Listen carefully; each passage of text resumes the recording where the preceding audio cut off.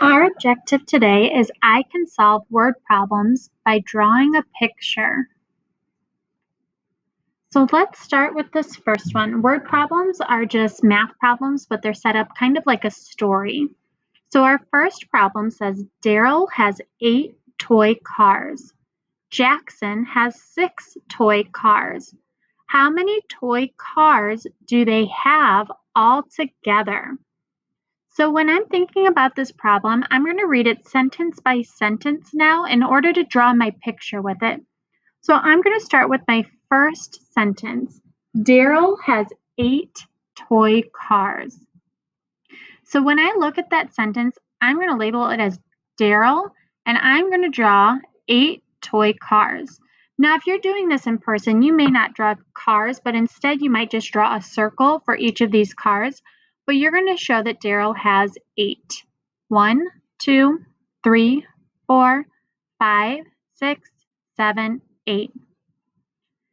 Now my next sentence says Jackson has six toy cars. So now I'm going to label Jackson and I'm going to draw six for him. One, two, three, four, five, six. So now that I have my picture drawn, I'm going to read my last sentence, which is my question sentence. It says, how many toy cars do they have all together? Now that word all together is a good clue that I need to add these because I want to know if I combine Daryl and Jackson's cars, how many do they have? So I would write this as an addition problem that would have Daryl's 8, 8 plus Jackson 6, 6. And then if I wanted to, I can just count the total. 1, 2, 3, 4, 5, 6, 7, 8, 9, 10, 11, 12, 13, 14. So for my story problem, Daryl has eight to toy cars. Jackson has six toy cars. How many toy cars do they have altogether? My number sentence would be 8 plus 6 equals 14. Let's try another one. This one says Lily has 11 bracelets. Isabella has three more bracelets than Lily. How many bracelets does Li Isabella have? So let's again read sentence by sentence and let's draw our picture with this one. So I'm going to start with Lily has 11 bracelets. So here's Lily, and let's draw her 11 bracelets. One, two, three, four, five, six, seven, eight, nine, ten, eleven. My next sentence says Isabella has three more bracelets than Lily. So here's Isabella, and I have three extras. One, two, three. But now when I look at my sentence, it says, how many bracelets does Isabella have? So Isabella doesn't just have these three because she had three more than what Lily had. So I'm taking all of these together, what Lily had plus the three more that Isabella had to find the total number that Isabella has. So my number sentence would be the 11 plus the three more and so your total equals 14. Do you see how when it says how many bracelets does Isabella have? It's not just three that she had because she had three more than Lily. So you have to count how many Lily had plus the three extras. So 11 plus 3 equals 14. Let's look at one more. This time I want you to do it with me. So go ahead and have your piece of paper and your pencil ready. This one says Cora went to the playground. She saw 12 kids playing there. Then five more kids came to play. How many kids were there in all at the playground? So again, let's read sentence by sentence. Cora went to the playground.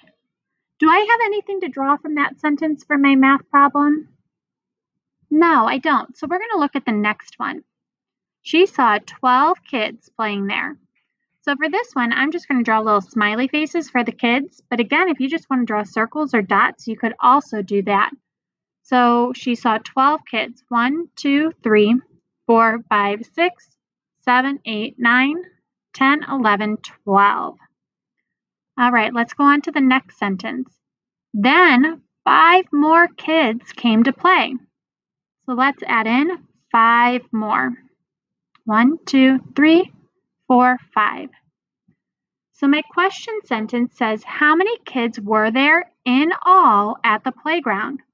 So in all is going to be a clue, just like all together, that I'm going to be adding because I want to know out of the 12 that were there plus the five more that came, how many are there in all or total?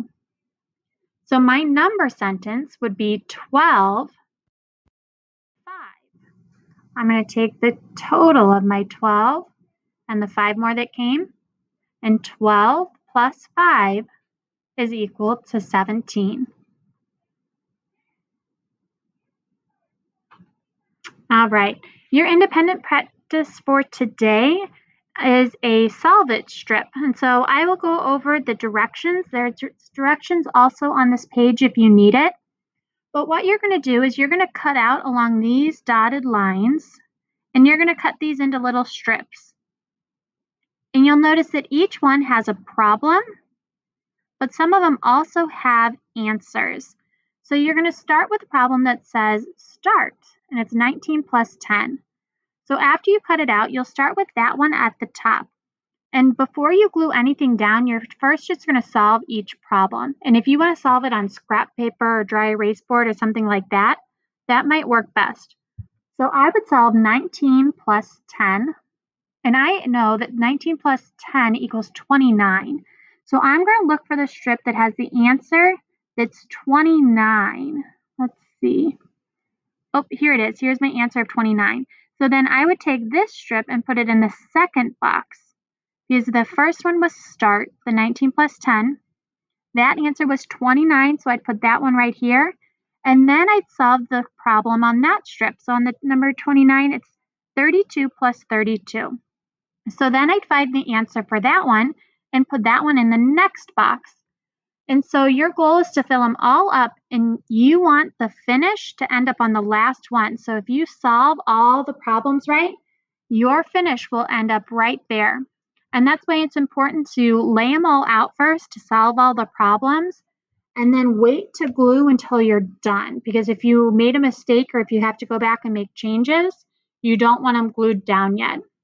So this is something just for you to practice your addition as we're working on word problems this week.